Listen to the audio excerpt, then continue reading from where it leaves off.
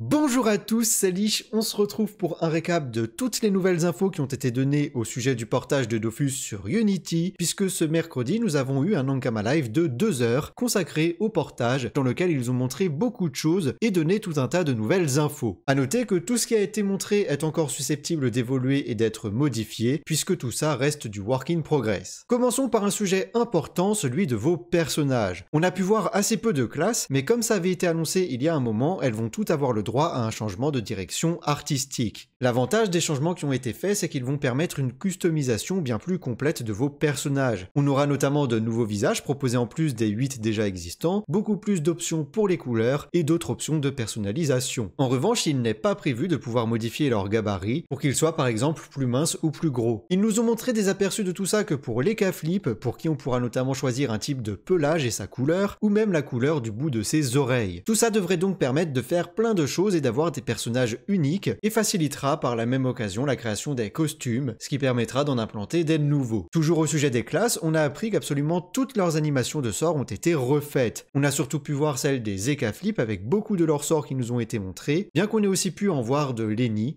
les nus et le yop. Rassurez-vous d'ailleurs, ces personnages gris que vous voyez sont des gabarits qui sont utilisés pour les tests. Les énus par exemple n'auront pas une telle apparence en jeu. Ah et aussi on a pu voir un peu le Sadi avec la nouvelle apparence de plusieurs de ses invocations, puisque pareil, toutes les invocations vont avoir une nouvelle apparence et seront animées en combat, y compris les tourelles du steamer. Par ailleurs, vous l'avez peut-être remarqué, mais tous les items ont également le droit à une refonte graphique qui saute plus ou moins aux yeux selon les items. Autre sujet important qui est une promesse de Unity, c'est de rendre le monde beaucoup plus vivant et animé. Ça vous le saviez déjà, mais là on a été servi puisqu'on a vu un paquet de maps qui nous permettent de voir à quoi ça va ressembler directement en jeu. L'objectif à terme c'est que toutes les maps soient animées aussi bien dans les donjons qu'à l'extérieur. Selon les zones ce sera plus ou moins prononcé, mais clairement on va passer d'un extrême à un autre. D'ailleurs les maps resteront animées en combat, y compris avec le mode tactique amélioré. Pour rappel, ils sont en train de revoir le mode tactique de toutes les zones pour proposer une version améliorée qui vous permettra d'avoir une très bonne visibilité tout en conservant l'ambiance des maps, là où l'ancien mode était lui assez radical. Dans ce nouveau mode tactique, les maps seront donc toujours animées, sans pour autant obstruer la visibilité. On en a vu de nombreux exemples. Encore une fois, n'oubliez pas que tout ça reste du work in progress, même si on s'approche du résultat final, il y aura sûrement encore des ajustements, notamment au niveau de la luminosité de certaines maps.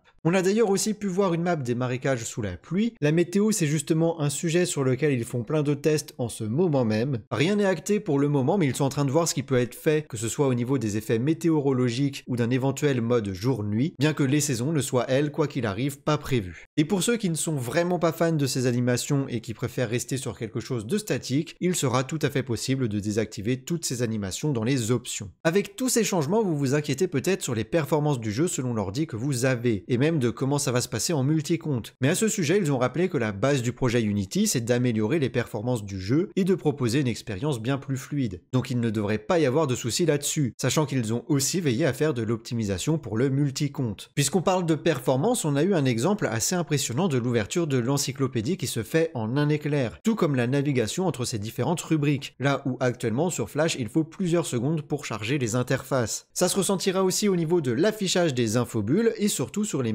qui, même lorsqu'elles seront blindées de joueurs, ne devraient plus avoir de latence. Pour en revenir rapidement aux maps, ils ont aussi montré plusieurs exemples des fameuses maps combat hors donjon. Ça avait fait débat lorsqu'ils en ont parlé pour la première fois en juillet dernier à la Japan Expo. Mais pour rappel, en gros, maintenant quand on lancera un combat hors donjon, on ne fera plus le combat sur la map où on l'a lancé, mais à la place on sera téléporté sur une map spécifique dédiée au combat. Et une fois le combat fini, on réapparaît sur la map initiale, sachant que chaque sous-zone aura un set de plusieurs maps de combat dont les graphismes sont cohérents avec ceux de la sous-zone et qui auront le mode tactique amélioré. L'idée c'est d'adapter les maps et la taille de la zone de combat en fonction des sous-zones pour éviter d'avoir par exemple à bas niveau des combats longs parce que les ennemis sont à l'autre bout de la map. Ça permet aussi à Ankama de ne pas avoir à faire le mode tactique amélioré sur toutes les maps du jeu, ce qui prendrait un temps fou, et à terme ça permettra peut-être même d'autres petites choses. Ainsi pour l'occasion ce sont tout de même entre 2000 et 3000 maps qui ont été créés. Pour ce qui est de la date du portage, ils ont simplement confirmé que ça arrivait bien en 2024, sachant qu'il y aura une longue phase de bêta de plusieurs mois, à l'issue de laquelle les anciens serveurs passeront sous Unity progressivement, puisqu'un planning de portage sera mis au point. En parallèle, de nouveaux serveurs sortiront pour l'occasion, aussi bien monocompte que multicompte. Pour nous tenir informés, on aura bien plus de live au sujet de Unity que ces dernières années, puisqu'il y aura au moins un live tous les 1 ou 2 mois pour nous donner des infos, parler de l'avancement du projet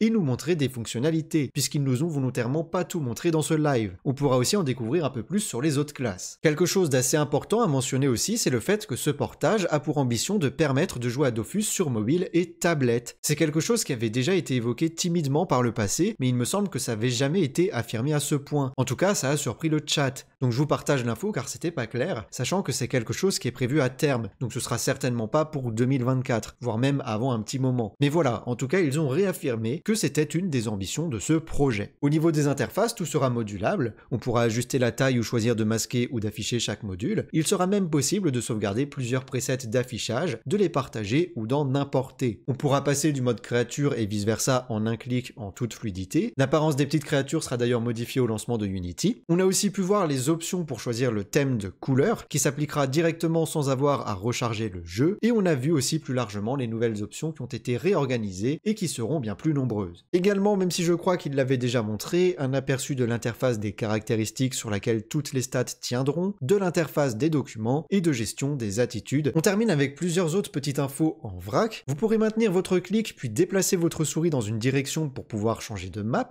Après le lancement de Unity, il y aura du nouveau contenu qui ne sera cependant pas Frighost 4 comme certains le pensaient. Un gros taf va être fait au niveau du sound design et des musiques. Un outil de recherche de groupe pour les donjons est envisagé, même s'il ne sera probablement pas là à la sortie de Unity.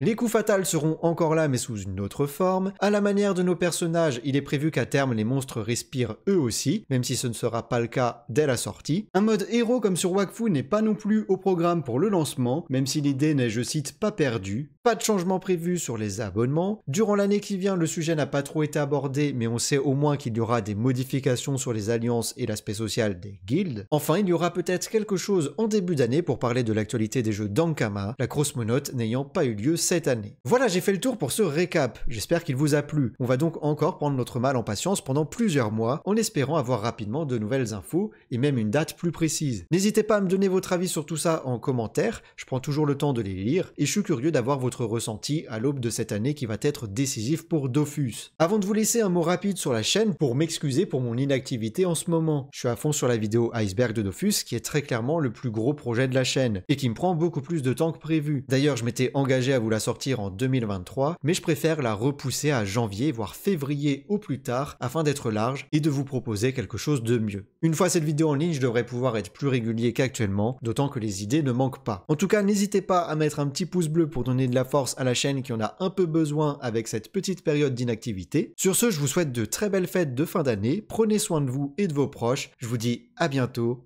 ciao